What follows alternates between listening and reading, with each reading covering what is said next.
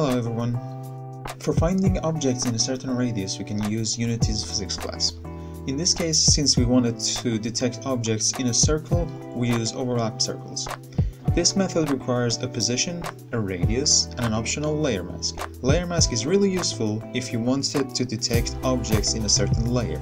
And since we want this function to repeat, we can use coroutines by replacing the void with IEnumerator. And then we can use a while loop to keep it repeating.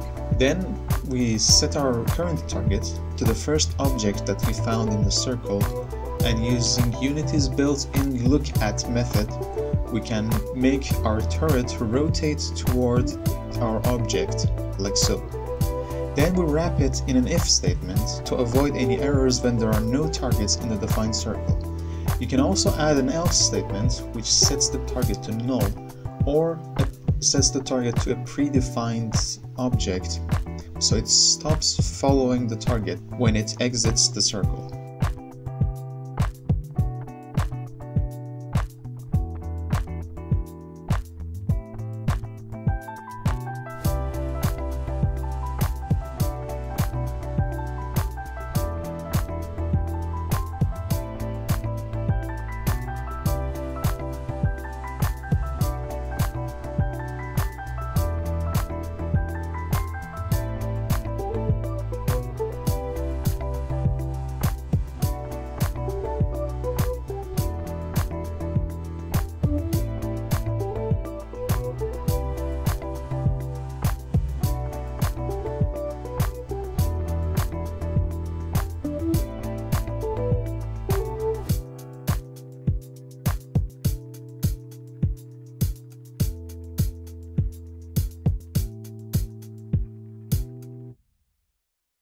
Thanks for watching.